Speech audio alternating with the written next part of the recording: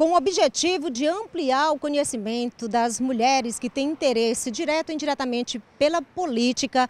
A UESP está promovendo o curso que já tem as inscrições abertas e o início das aulas previstos para 15 de fevereiro. Sobre esse assunto, a gente conversa agora com a senhora Esté Castelo Branco, professora e coordenadora do curso de formação política voltada para mulheres na UESP.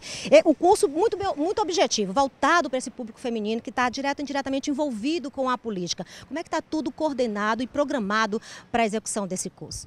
Exatamente. É, a ideia é atingir o público feminino que tem uma ligação com a política seja no executivo, seja no parlamento, seja na comunidade, seja numa associação de bairro, seja numa liderança que ela se coloca, seja no interesse em participar efetivamente, como na esfera da representatividade política. Nós estamos aqui fazendo um, um chamamento àquela mulher que gosta da política, que milita nos partidos políticos também, para é, comparecer este primeiro curso de formação política para as mulheres, a fim de que ela possa ter um conhecimento do arcabouço jurídico, da ciência política, da estrutura, da teoria que vai dar todo um substrato, uma fundamentação à atividade política que ela quer desempenhar. Professora, as interessadas em participar desse curso, onde faz a inscrição, quais são os procedimentos para garantir uma dessas vagas? São 70 vagas abertas a princípio.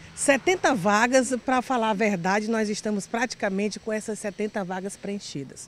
Uma procura intensa, estamos sendo procurados pelo todo o interior do Piauí, uma surpresa para a gente, que nós não esperávamos tanta procura, né? uma visibilidade muito grande, a gente percebe uma ansiedade, uma, uma avidez desse tipo de informação por parte das pessoas, muita procura do interior.